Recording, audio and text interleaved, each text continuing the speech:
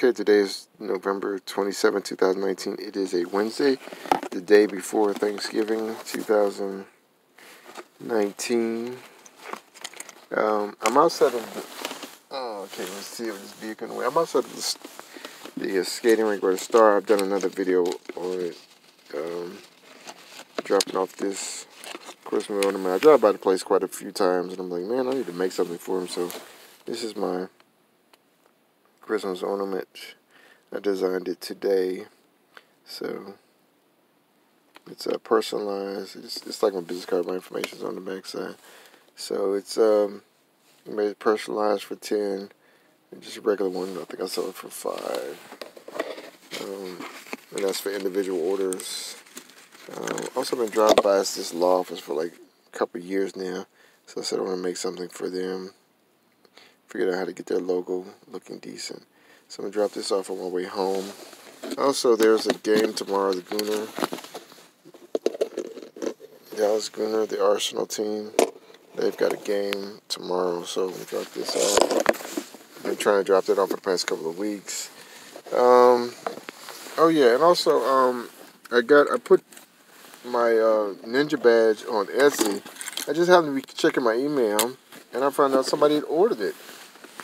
They ordered a couple days ago, so I just finished two of them today. They came out really nice, and I'm going to. Um, um, I sent them, mailed them out today, so they'll get them. They only ordered one, only paid for one, but I'm sending them two because that's like my first Etsy order that was like not, hey, can you order something from my Etsy store? At first it was, can you order something from my Etsy store and I'll pay you for it or I'll discount it so it doesn't so it's actually free. So just to get my traffic up, and another couple of orders from family members. So this is the first person, first quote unquote real unsolicited customer I've had, and it wasn't a family or friend, someone I didn't know. So they just bought it. I don't know how they found it. But they, they ordered one. I was like, okay, cool. So I'm gonna send them two because I'm so happy to have them. So I'm actually up to with all the orders. I've actually they said congratulations, you're up to ten orders. Um, but I know it's really only one that actually that actually unsolicited. So that's cool. Um, also, uh, the rent is due in a few days, maybe like six days. Um, so I was wondering how I was going to pay it. Um, I actually got an order to do something. There's a place in Dallas called um, uh, Rainbow Vomit, and I'd heard about it because a friend of mine um, did some work there. She told me about it. I was like, okay, yeah, whatever. And then I was at the makerspace. I came in after work early one morning, like one, two o'clock in the morning. I stepped in the guy was like, hey, man, I've been looking for you. There's a job you may want to be able to do. And I'm like, job?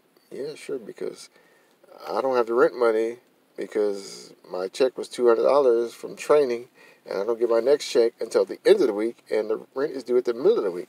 So I don't want to pay any more late fees. So, um, so that's a job that, uh, if everything works out, I'm supposed to get the artwork today. I have to deliver by Sunday. I have to deliver by Sunday. Um, so that has to be done. Um, so that if that works out, I'll be able to come to rent. Also, my rent, they charge me late charges, but there's only there's a law that passed in Texas that you can only charge a person so much in late charges, and um, it starts on the law went in effect September 1st, 2019. My I signed my lease on August 1st, 2019. So I'm like 10 days off of it. But then when I go back and look at what I'm when my lease date starts, it actually starts on the 1st of September. So I'm actually under the law. So I got to go back to my apartment complex and get back. It's probably 150 over hundred dollars in late fees I need to get credited back to my account.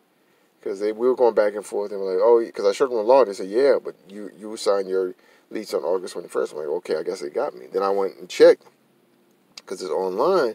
I'm like oh no my my lease started September first so we're gonna go back and forth with them. But first I need to pay my rent to make sure I'm covered on that end because um, I don't want to be just pay my rent then I'll fight with them I don't want to fight with them and owe them money so and it's just a way I'm you know, trying to handle business now. And I've also reached out to this organization. This is a great organization in Dallas.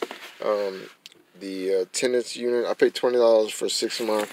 They sent me all the information I have. They talked to me on the phone, so they're a great organization to work with um, here in Texas. And I'm gonna try to put other people onto them because uh, I just went to a free meeting and um, and I was really in a hole. I mean, I had to pay ooh, close to a thousand dollars all late fees and and it is ridiculous. And I had to get the money off my credit card. Just absolutely insane how much money I had to spend to just stay in my, my apartment, which has a leaky roof, which they say I'm fixing.